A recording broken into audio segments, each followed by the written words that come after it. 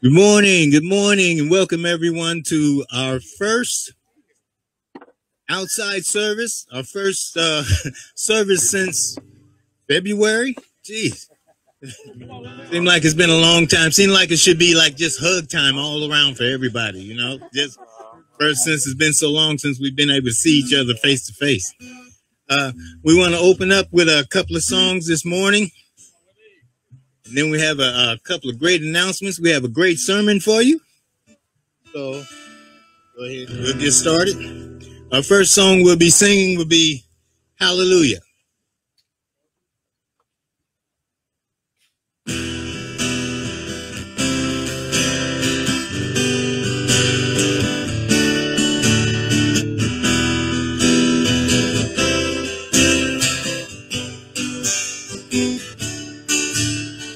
Lord, we sing your praises loud. Sing them to the stumbling crowd. Sing of Jesus and his word. Sing until the earth has heard. Hallelujah, hallelujah, hallelujah, hallelujah, hallelujah, hallelujah, hallelujah.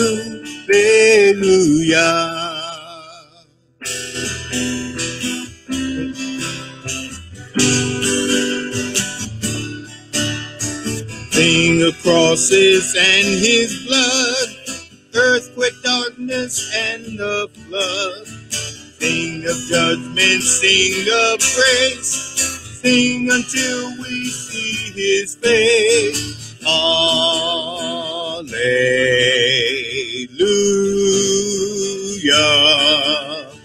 Hallelujah.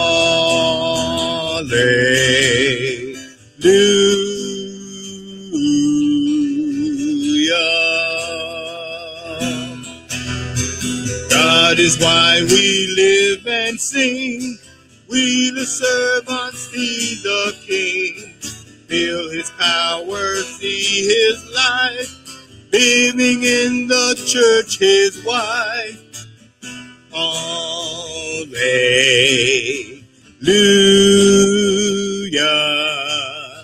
Hallelujah.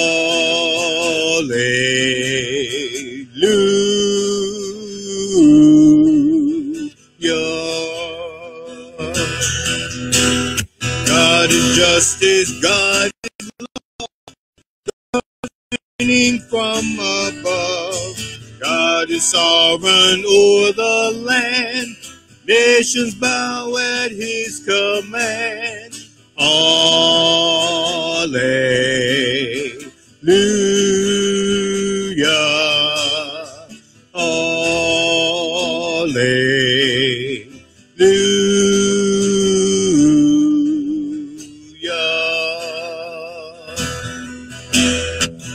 Is but a passing glance. Seek him while you have a chance.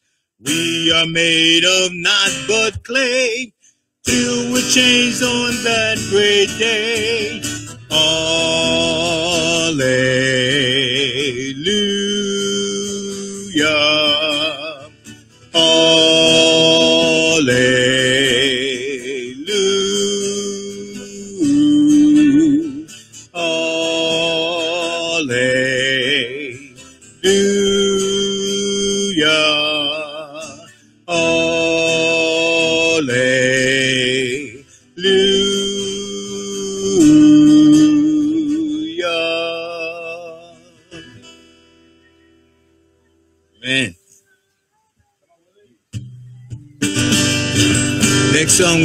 Be With Me, Lord.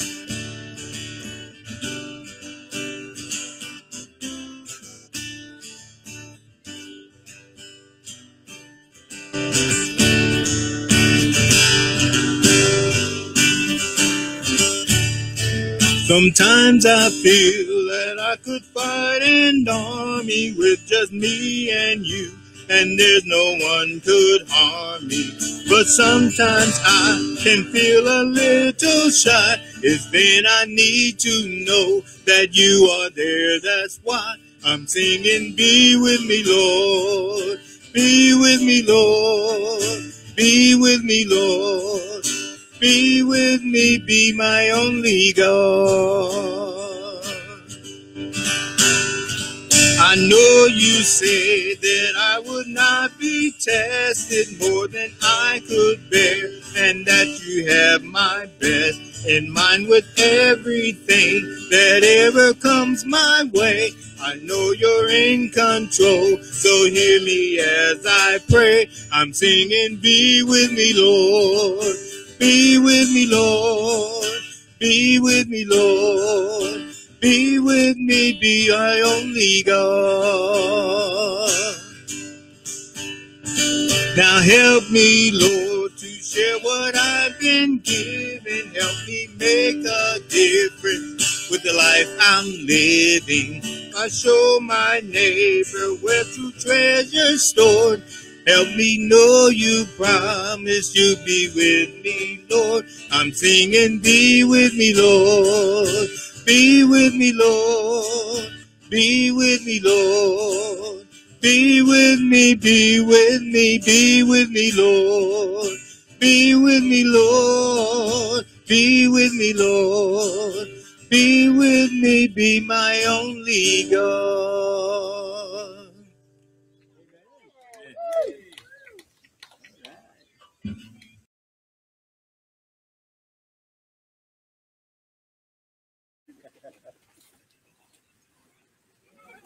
All right, good morning, everyone. Morning. My name is Michael Montaño, and this is my lovely family. This is my wife, Katerina.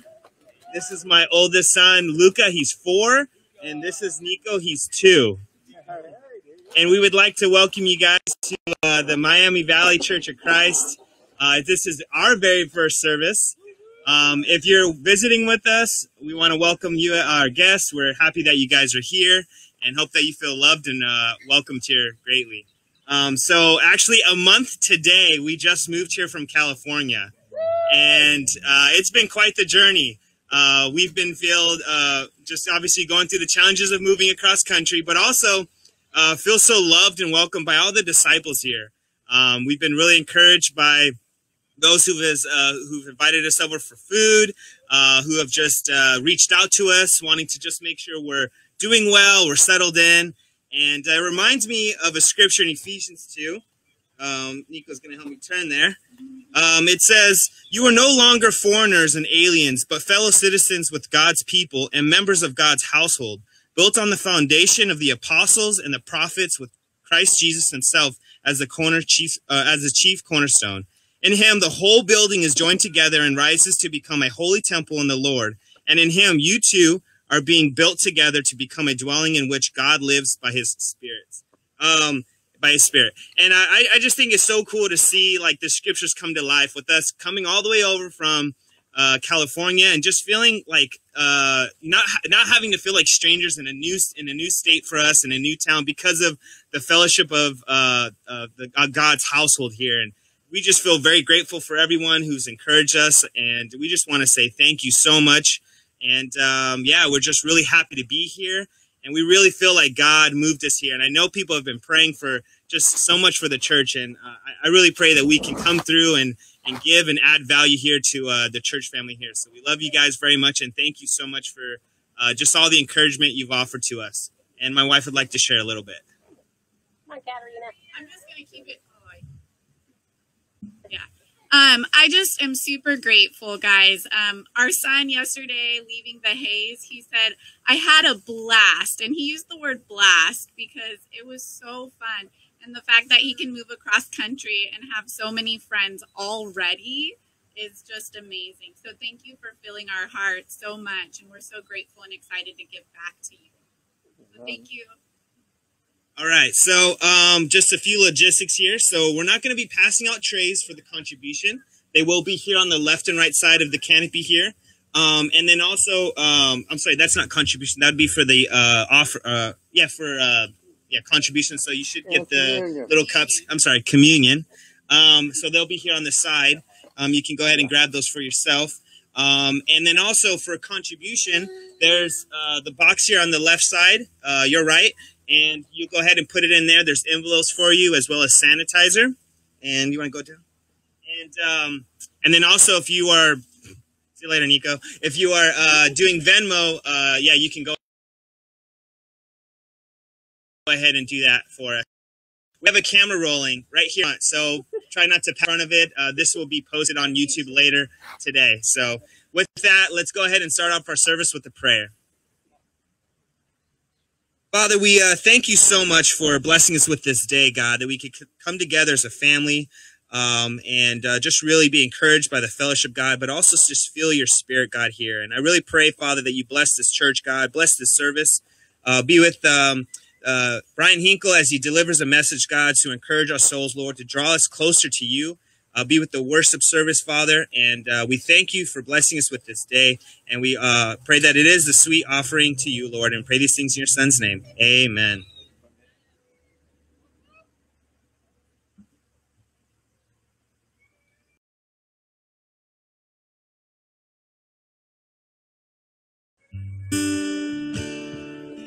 Amen. With that, we'll have one more song and then we'll be graced with a great, great sermon.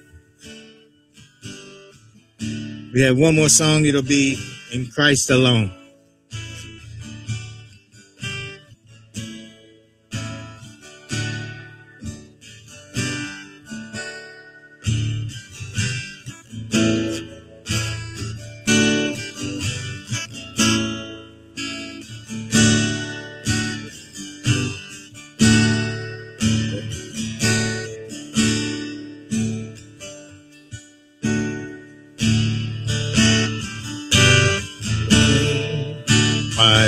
Is found. He is my light, my strength, my song. His cornerstone is solid ground, firm through the fiercest drought and storm. What heights of love, what depths of peace, when fears are still, when striving cease. My comforter, my all in all, here in the love of Christ I stand.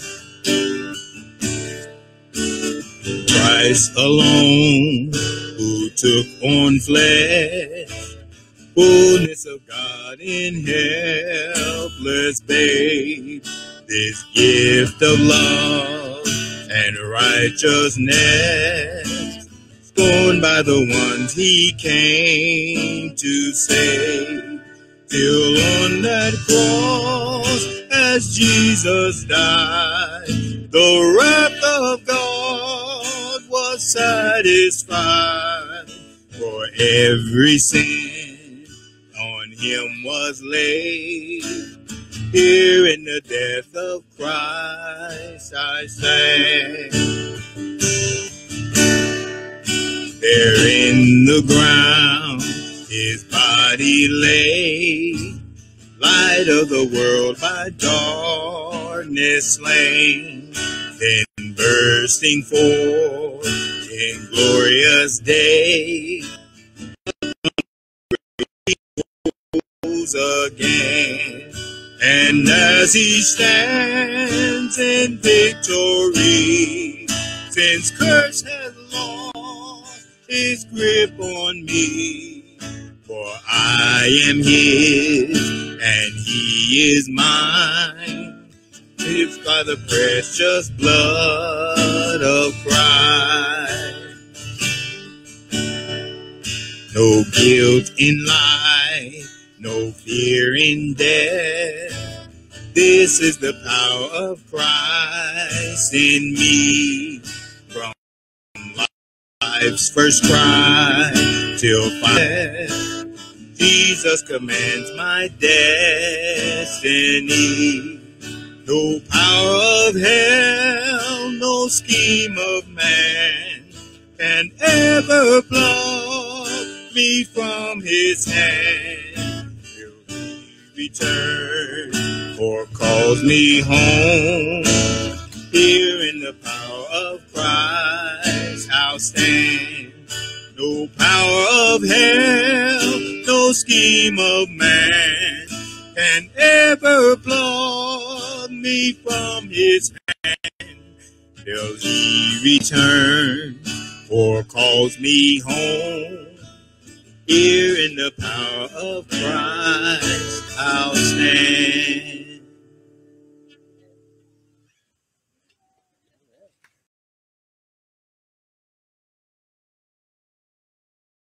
All right, good morning, Miami Valley Church.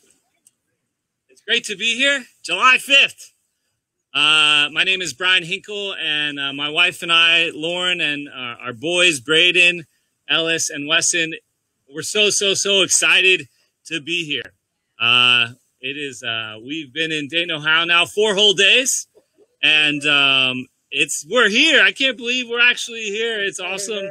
Uh, so excited to be here. So thrilled to be here. Just uh, honored by God to be part of the Miami Valley Church here in Dayton, Ohio, and um, we just feel we're just we're just super super thankful that we are we're here, even through a pandemic, even through six months of of all kinds of different things that that this day is here. And I think you, as a church, physically being together, you guys haven't been together since March first, I believe. So it's July fifth.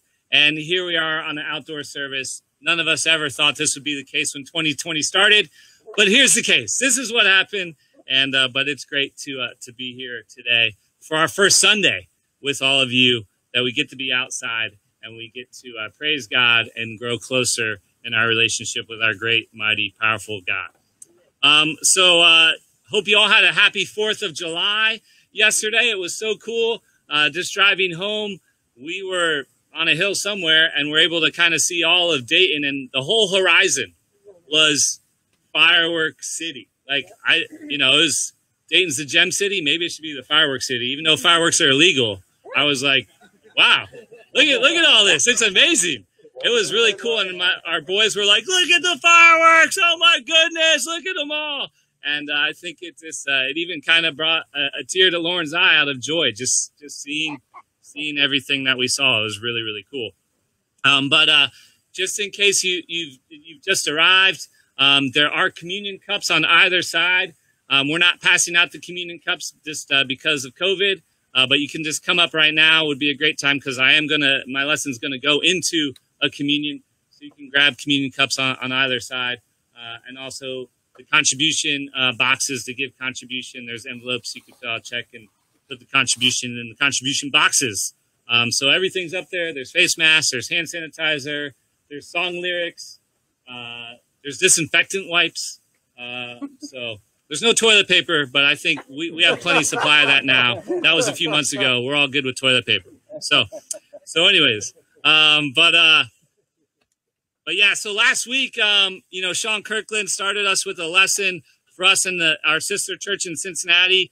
And the title of that lesson, uh, we're starting a series titled uh, By Faith, um, Trusting God When.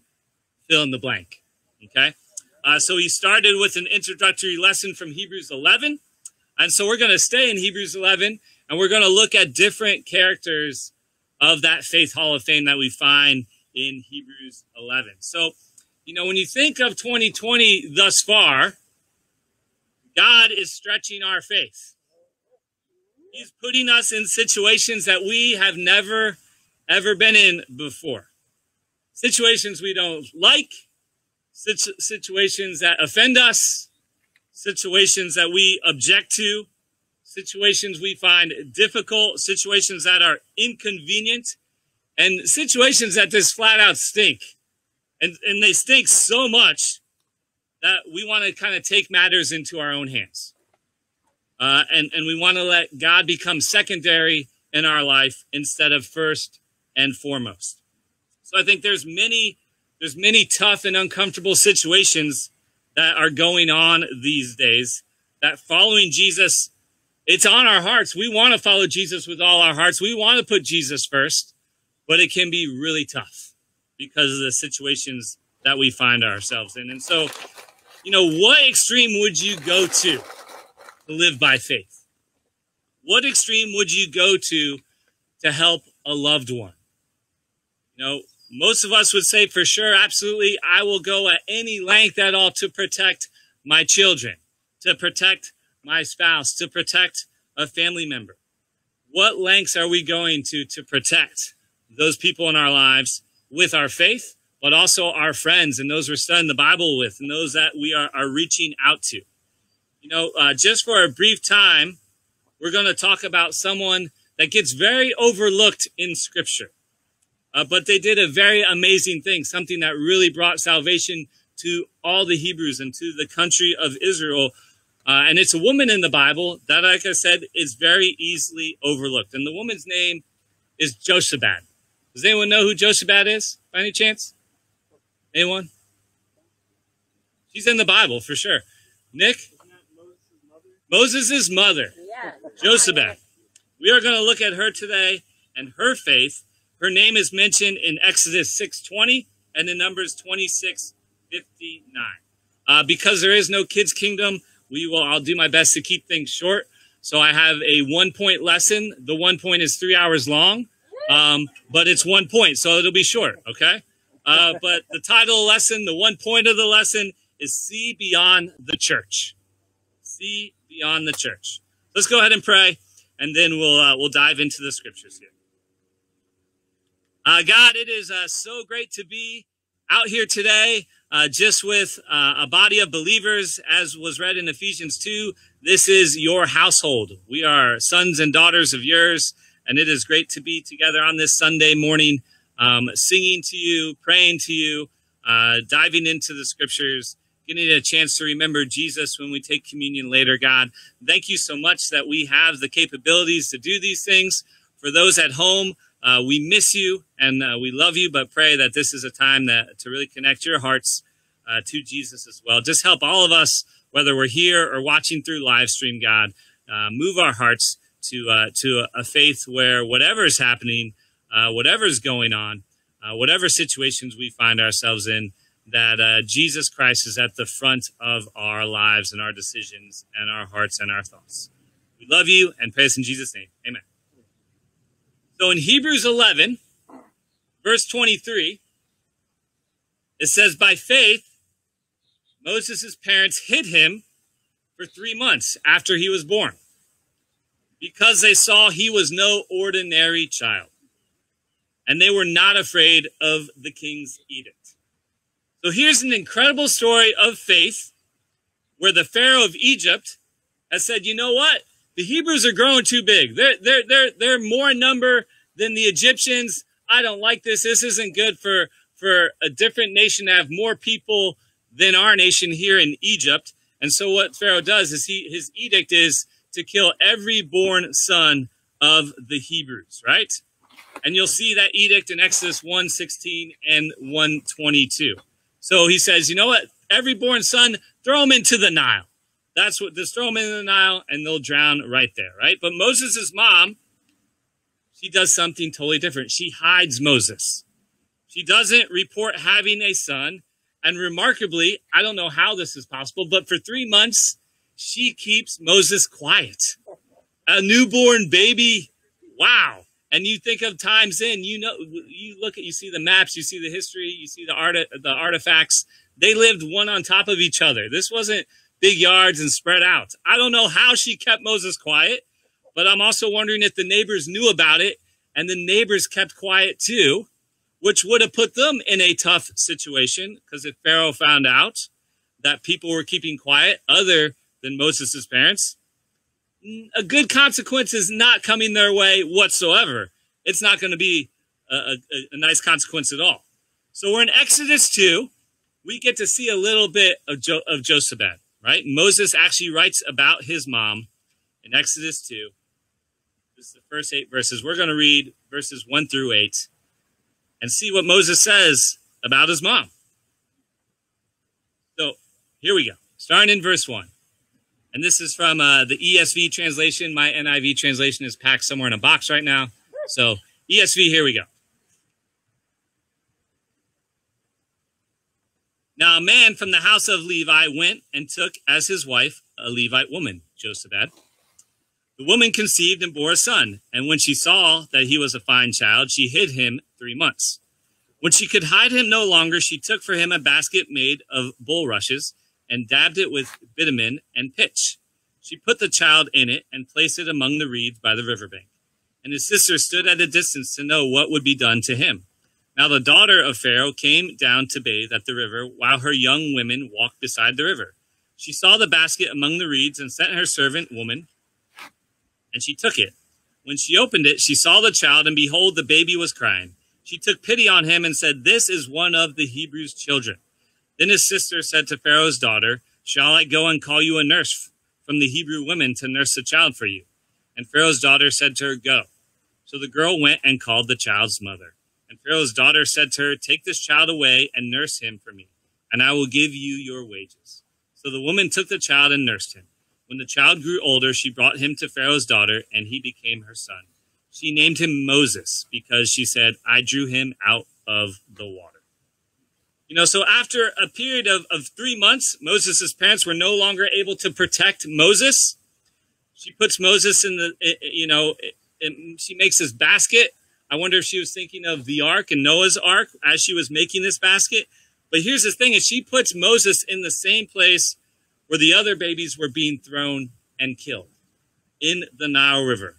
This place of nightmares, this place of horror, this place that was just a, a, place that no one wanted to associate itself with, a place that I'm sure years later Hebrews never wanted to go to because of the, the, the drama and the trauma that occurred.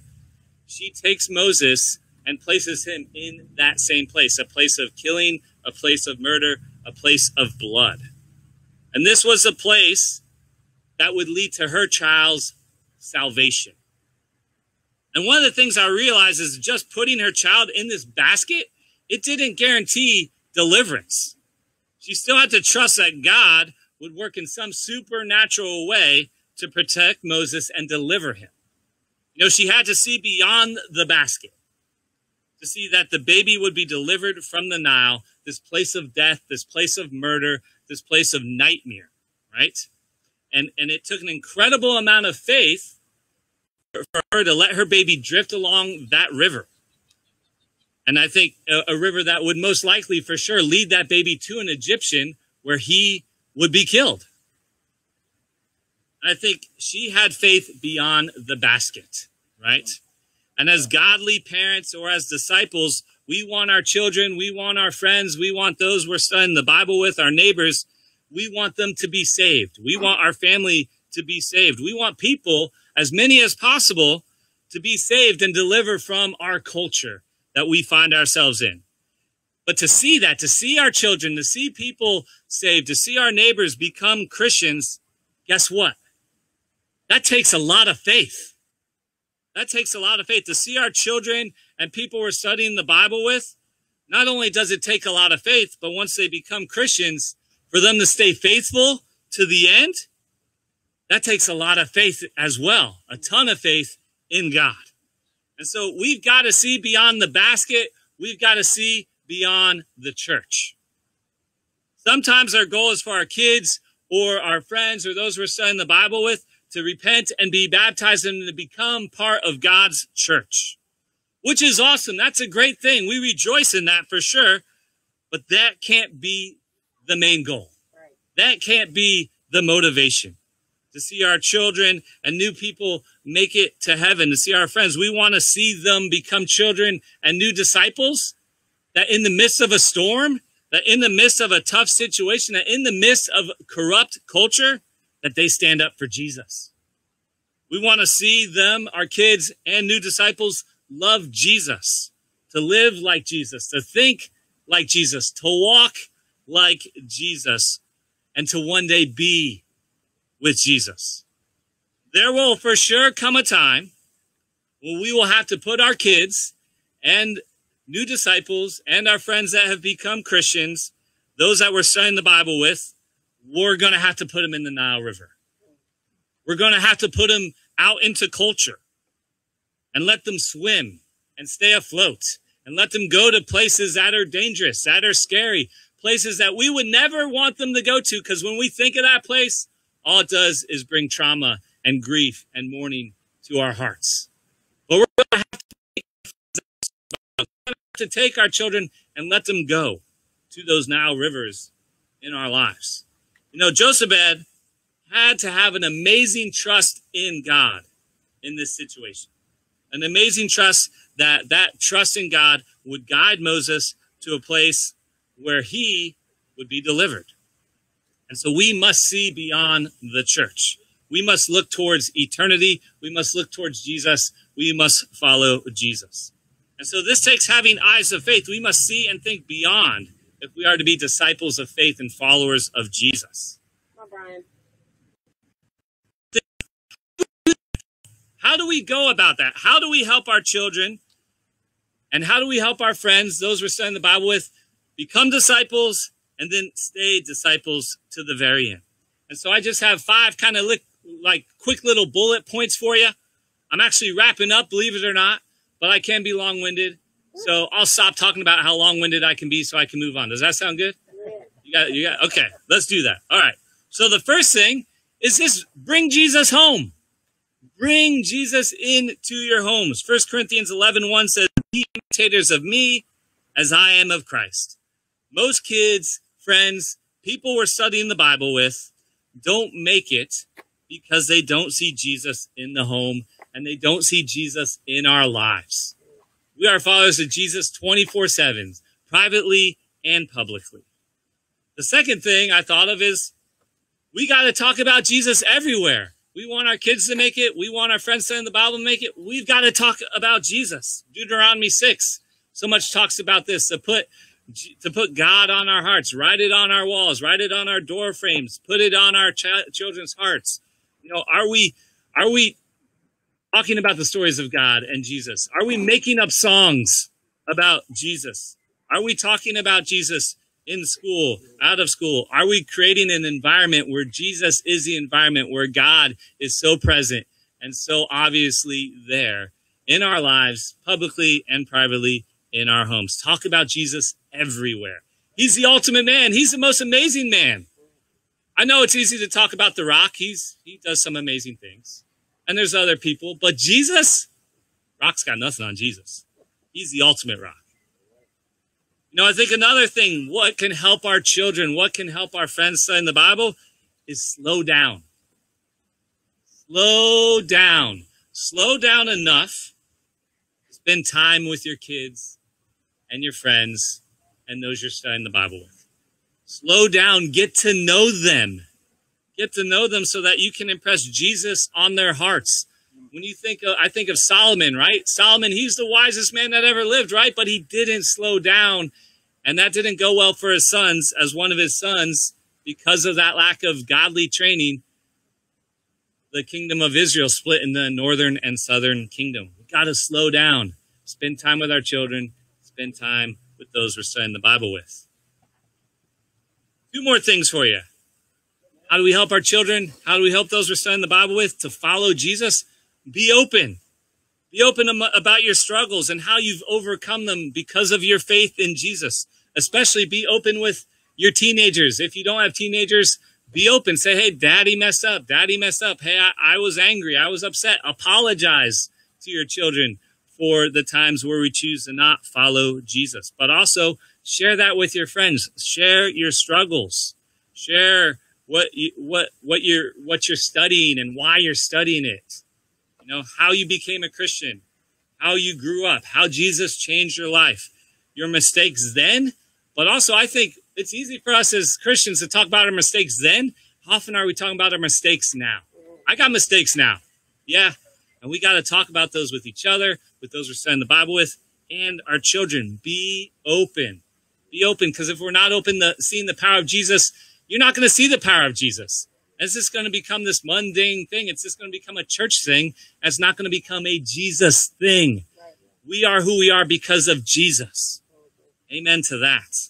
And the last thing is make hard decisions now. Make hard decisions now to seek first the kingdom. Matthew 6 33. Kids and people know when we are not seeking first the kingdom of God. Our kids and our friends who we study the Bible with, they can see the compromise. I remember when, uh, you know, when before Weston was around, we had Braden and Ellis, and we were leading the teens in Maryland, and we had Teen Devo every Friday night. Our kids loved Teen Devo. They love being around the goodness of godly people and seeing that and interacting with that and just being around that, right? But it was really hard for Lauren and I to do stuff because we got these two little ones running around. So, hey, great idea. You know what? We'll get some babysitting. The kids can stay at home. They can go to bed early. That'll be great because their bedtime's at seven. When they come to Teen Devo, they don't go to bed till like 10, 10 30, 11. So, you know what? Let's do that. So, what do we do, we got some people to babysit for them. They stayed at home. You know, they watched some Daniel Tiger probably. They they maybe watched uh, some some Pokemon or Beyblades, right? And and sure enough, the next day, wait, you went to Teen Devo? Yeah, we had Teen. Why we want to come to Teen Devo? Why didn't we come to Teen Devo? We want why we want to be there? And then Lauren and I were like, what are we doing? Like what? They want to be around the kingdom of God. They want to be around God's people. And we started having babysitters come to Teen Devo because we didn't want to show them that compromise. We didn't want, we wanted them to live the same life that we're modeling. So bring them along with us. We bring them to Bible studies and uh, they're excited to come. Can I come? Yeah, you can come.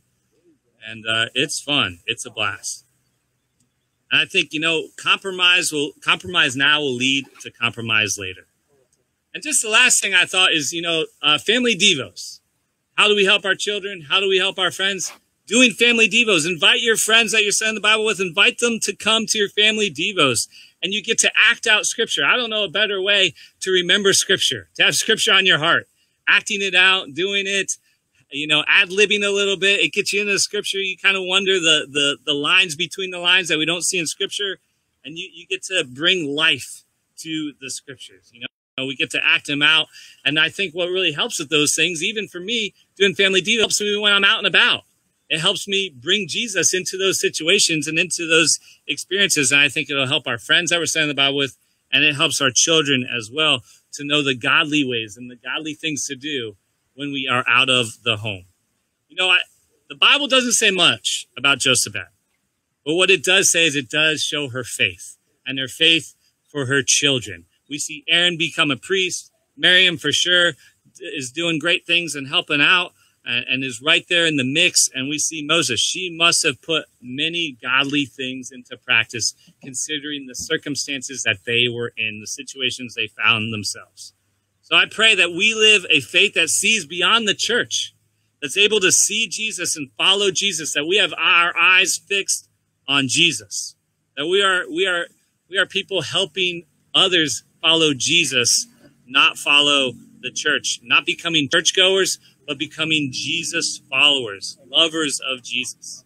You know, it's never about the church. It's always about Jesus. Faith it takes for conversion to happen, for people to become followers of Jesus, it's got to be about Jesus. And it's got to be about Jesus to the very, very end.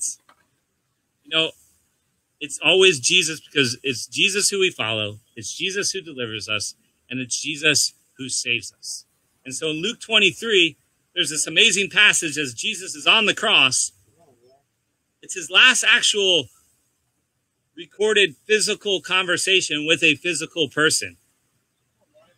And in verse 39 of Luke 23, it says, One of the criminals who were hanged railed at him, saying, Are you not the Christ? Save yourself and us. But the other rebuked him, saying, Do not, do not fear God, since you are under the same sentence of condemnation. And we indeed justly, for we are received the due reward of our deeds. But this man has done nothing wrong. And he said, Jesus, remember me when you come into your kingdom. And he said to him, Truly I say to you today, you will be with me in paradise. Even Jesus on the cross as the faith to save. Even on the cross, Jesus is making it about him. He doesn't say, hey, today you'll be in paradise. He says, no, today you'll be with me in paradise, is what he says. Being a Christian is always, always about Jesus. I think it's amazing to me. It's always about living a faith that follows Jesus, and it's about having a relationship with Jesus. Spending time with Jesus, getting to know Jesus more and more. I think it's a Jesus's faith here is amazing to me as he's on the cross because on the cross because he isn't checking out. In those final moments, he could be discouraged. He could, you know, he finishes strong. the last physical person he talks to on the cross, he brings salvation to. It's a difficult situation for Jesus, but what great faith. He's, he could be bitter, he could be upset. I'm sure he's downright exhausted and weary. But he never justifies what he did in the past, like, you know what, I've done enough. Let me let me just check out now. My time is almost up. Here he is, helping someone come to salvation at the very last moment. Even on the cross, he has the faith to save. He has the faith to go, go beyond the situation and to do what God has put on his heart. Likewise, let's follow that and imitate that Jesus and do what God has put on our hearts. And let's see beyond the church and let's see Jesus and let's bring Jesus to the Gem City. So we are going to take communion now. I will pray uh, for for the body of Jesus and the blood of Jesus, and we will take. Uh, hopefully, you have a communion cup, and uh, we'll take communion. But let me let's uh, let's pray, and then we'll do that. Uh, God, uh, what a joy to be here today! What a joy to just think of Jesus, and it's so easy to get caught up in in in things other than Jesus. Even really good things, such as the church. The church is an amazing thing. You give us the church. We need the church. But uh, but God, help us always as a church direct each other and direct those that we come in contact with to Jesus, showing them Jesus, relying on Jesus. I think of Jesus in the way he is on the cross, still active, still giving, still paying attention, not shutting down, not going, you know what, I'm done. He's still engaged. He's still listening to conversation. He's still having conversation. It's amazing to me that even as he's ridiculed on the cross, he's willing to overlook that, to not get offended, and to help the other thief on the cross. God, I'm uh, blown away by his heart.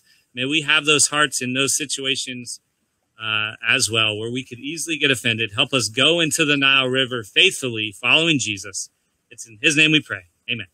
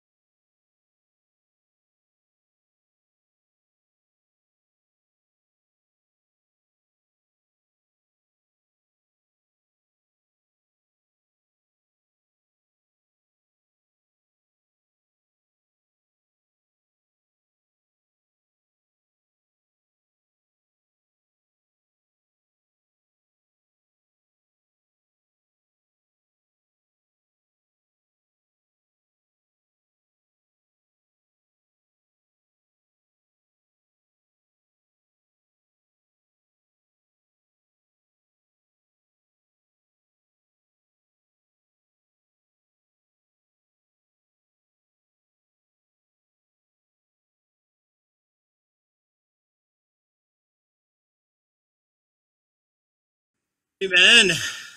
It was an amazing uh, message, and uh, uh, just uh, thinking about that line, uh, "Faith behind beyond the basket," and and just how our focus needs to be on Jesus. Uh, incredible.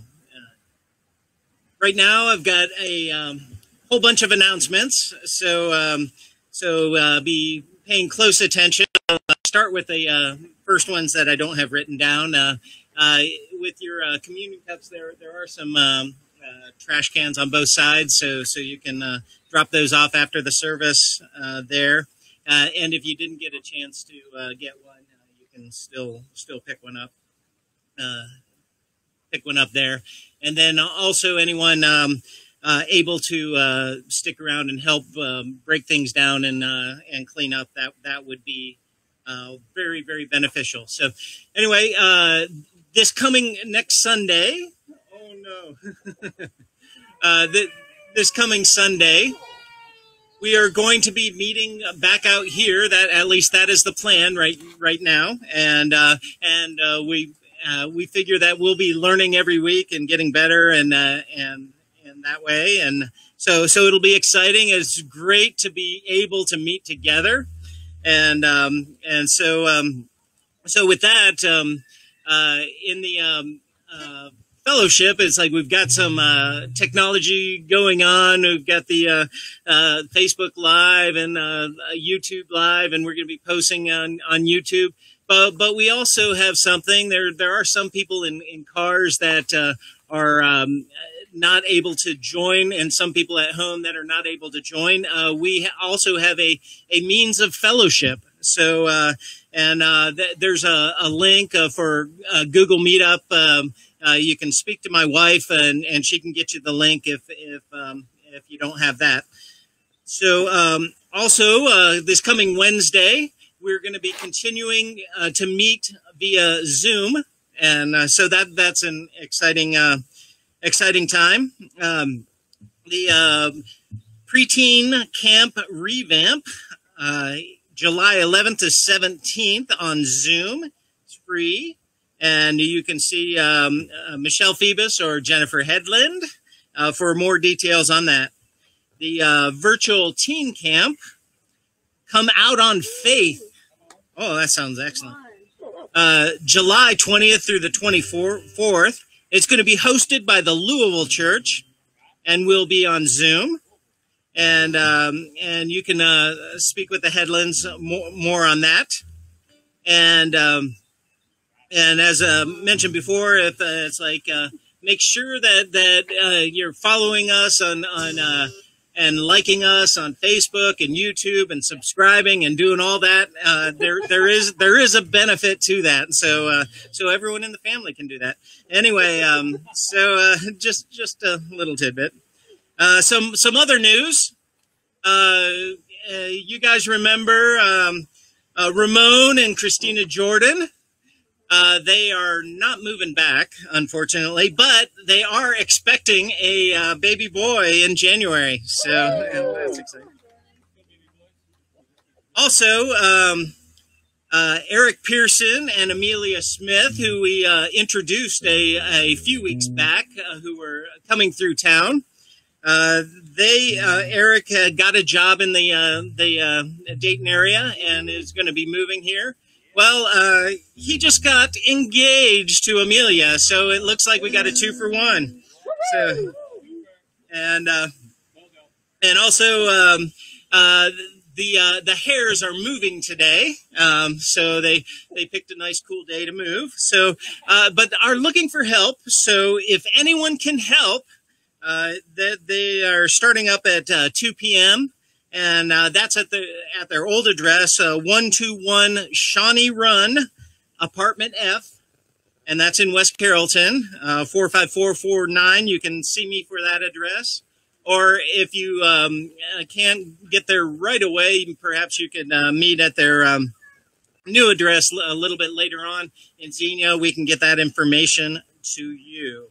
So, um, and um, and remember, uh, as far as that technology for the fellowship, let's inundate the the people that that couldn't meet with us uh, for in that fellowship. So so just just uh, uh, let's let's um, really encourage them uh, uh, there. So let's have a closing prayer, and we will have one one closing song, and then we'll be be uh, free to go. And but but remember that we do have the contribution boxes on on the side as well. Uh, so let's pray. Heavenly Father, we uh, thank you so much for being able to come together and meet together physically. Uh, you have blessed us with with having a means to meet together virtually, uh, but there is nothing like meeting together uh, personally and physically, seeing each other's um, uh, faces up close and and personal. But but as as in this day and age, not not too close yet. So, but uh, but God, we uh, we are so grateful for even to be able to meet. But but as as uh, Brian was was sharing in the message, that is uh, is is not just about the church. It's about Jesus, and it's about our our, our faith. It's about our love. It's our love for for one another and and following Jesus. And I pray just that we can have a heart like that. That we can have a heart of faith, a heart to follow. We are so grateful we uh, we praise you, we honor you, and we desire to please you. Amen.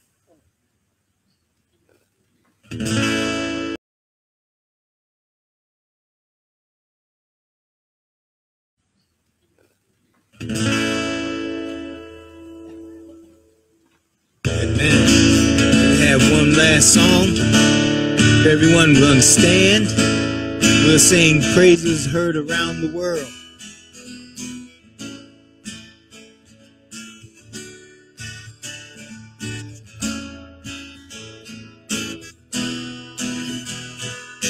Lord, your love has saved us. Precious blood has made us.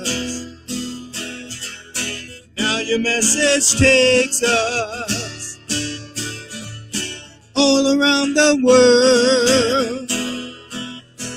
Can't you hear them? Them singing.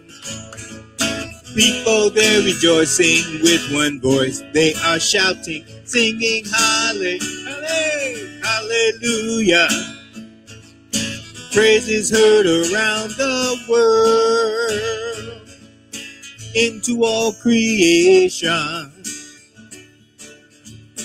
each and every nation, sending your salvation all around the world. Can't you hear them? Hear them singing. People they're rejoicing with one voice. They are shouting, singing, Halle, Halle, Hallelujah.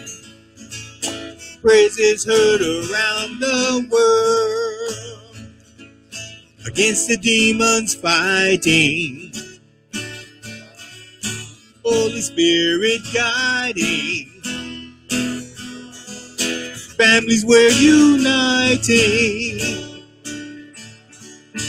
All around the world. Can't you hear them? Hear them singing. The people they're rejoicing with one voice. They are shouting, singing, Halle, Halle, Hallelujah praise is heard around the world. Come on, come on, can't you hear them? Hear them singing. The people they're rejoicing with one voice. They are shouting, singing, Halle, Halle, Hallelujah. Praise is heard around the world. We are praises heard around the world praises heard around the world. We are dismissed.